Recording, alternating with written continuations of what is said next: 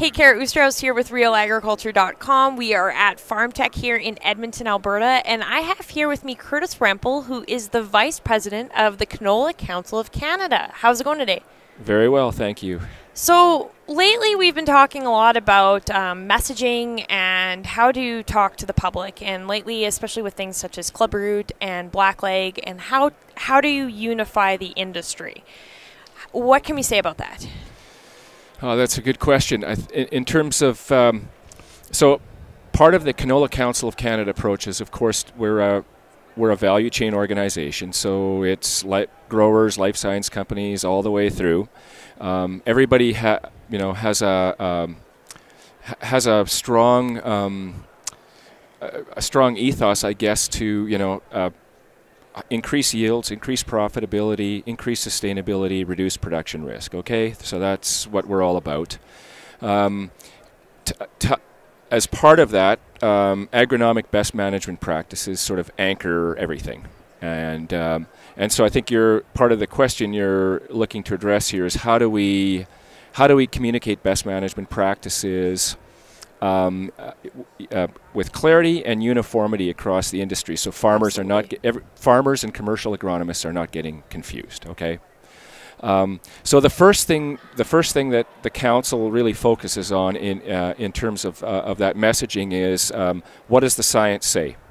So um, you know, uh, we the grower organizations, the council, there's other funding organizations. We fund research looking at uh, gaps that we need to address, etc.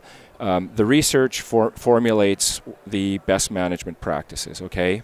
And then often the research also gives you a good feeling for what kind of knowledge and technology transfer tools you need to use or which medium you might need to use uh, to, tran to translate or transfer the, the message, uh, translate the knowledge, I guess.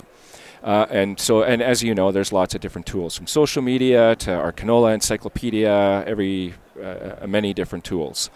Um, the messaging then, um, we tr what we try to do is bring in industry experts, whether they're scientists, um, provincial extension people, and also industry, like uh, commercial agronomy, um, plant breeders, uh, marketing people, etc. And we try to work through what we call steering committees. We have a fertility steering committee, Clubroot, Blackleg, etc., and settle on what are the best, what are the, what does the science say? What are the best management practices? How do we communicate that? And can we all agree, uh, or what messaging can we all agree on that we can be unified around? And if we have to disagree on some things because we're not sure of the science or there's still some controversy, etc., where can we at least, uh, where can we disagree? and then um, try to uh, leave the disagreements outside of the main messaging, right? Like 90% of the of the message is correct. 10% might be slightly nuanced or whatever. And can we focus on the 90% so the grower can make the right decision? So, are you working with uh, the commercial agronomists as well in order to make sure you're together? We, that? Yeah, that's become a real a, a, a, point of emphasis for the Canola Council. Uh, we had we did a um, we had sort of a, a th two th a little over two years ago now, we had a, uh, what we call a strategic priority review. And we started uh, thinking about uh, a train the trainer model, whereby we're starting to um, still stay focused on growers, but the commercial agronomists are the really the eyes and ears of farmers, right? And so um, if we can get our messaging uh, if, if we can align our messaging with commercial agronomy, they're the they're sort of the la- they're the last touch point for the farmer.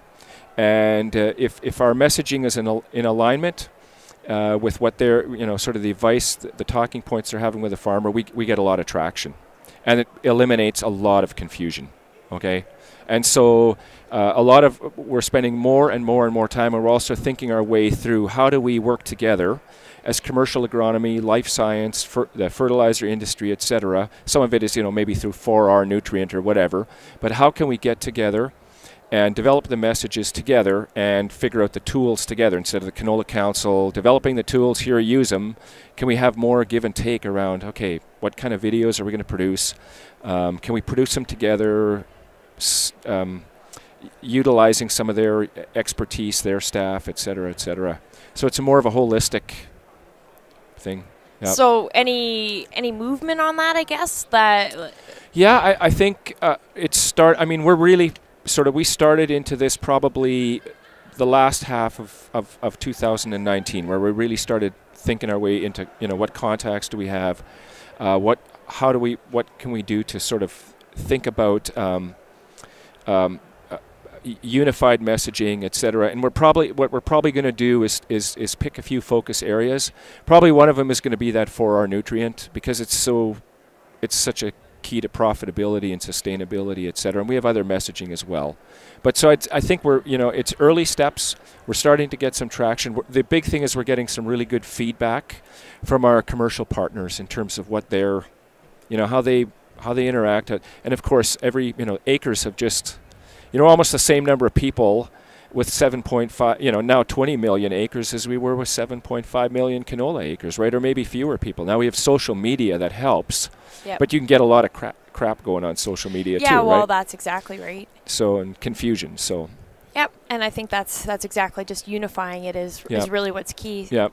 So moving into 2020, what can producers look forward to from the Canola Council? Canada? Yeah, that's another good. Uh, so yeah, uh, 2019 was challenging year. Everybody knows that, and yeah. so we're trying to look for you know a good start for 2020. Um, so uh, the things we're sort of focusing on at the Canola Council um, are um, are um, increasing um, emergence uh, or germination or, or, or stand survival from 50 or 60 percent to 75 percent.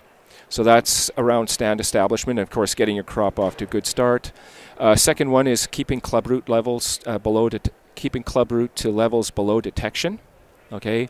Third one would be uh, enrolling in a implementing a 4R nutrient plan for increased profitability, reduced risk, increased yield. Uh, keeping your sights on blackleg, and then something that's a little more out, you know, sort of uh, longer term focused and uh, um, a little more esoteric, start thinking about uh, biodiversity and its impact on profitability. So wild spaces, wetlands, we've been doing a bunch of research on what the value of ecosystem services is to growers if you keep, and of course there's a carbon sequestration component, etc. And so if you have a couple of seconds, I'll run you, maybe give you a few more details on some of them. You Does that betcha. work? Okay.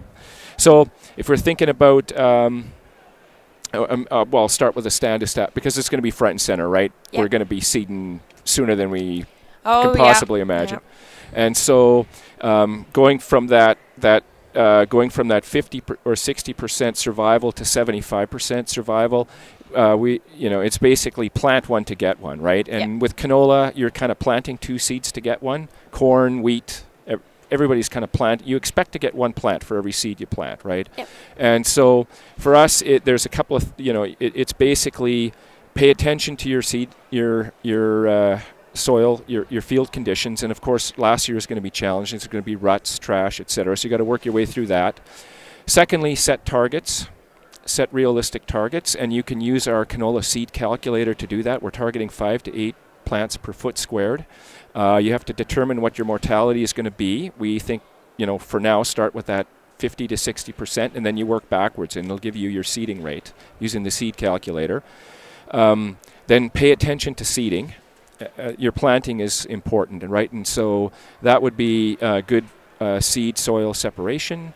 Um, depth half an inch to half to one inch. If you're going deeper than that, then you have to be incredibly confident that every seed is at exactly at the right depth. So, you know, it, there's the there's some research that says sometimes going to moisture if it's a little bit below an inch or something like that, you're maybe okay, but then you have to be everything has to really work well. From there on in, protect your stand and then reevaluate in fall. And then I think um, from for the club root, uh, and I'll probably stop there. But the club root, um, sort of to keep levels below detection. Um, first of all, we got we have to get every I think every canola grower, whether you have club root or not, we have to work towards a, a three-year rotation, right? A two-year break. Two-year break. If you're looking at all the evidence, uh, it really uh, you're really starting to reduce risk and reduce spore loads. Uh, secondly, that it's a patch disease, and if you're scouting well, you often find the patches in the field early. If you can grass over those patches, so you're not dragging, not driving over them in your non-canola year. What happen tends to happen is you forget where the f- patches were when you're d- planting your cereals and your peas, etc., and you're moving dirt around, etc., etc., and your patch keeps growing. So if you can kind of grass it off, delineate it, it's it's a it's an enforced biosecurity and enforced rotation, and then the last one is uh, is is uh, besides crop rotation, deploy your resistance properly. So Yep. that's kind of Seems like at. it's just getting those boots on the ground is Yep. the big one for sure. Yep, I think scout, you know, scout, scout, scout. Yep. If you don't have time to scout, there are so many really good commercial agronomists. It's the best dollar you can in, invest in, I think. And have somebody do it for you, and at least you know. You can start quantifying, right? You, y- if you want to manage, you have to measure. If you're not measuring, you really can't manage. Yeah. And so, You bet. Hey, thanks Yeah. for coming on and thanks again. I hope you have a great rest of your FarmTech. yeah, thank you very much.